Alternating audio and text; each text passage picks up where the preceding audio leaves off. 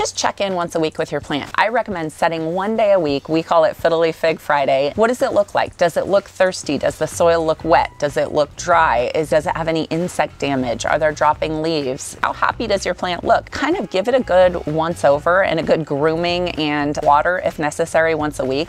And by kind of building this into your routine, you're going to be able to catch problems a lot earlier. You're going to build a better relationship with your plant. You're going to have a happier, healthier plant.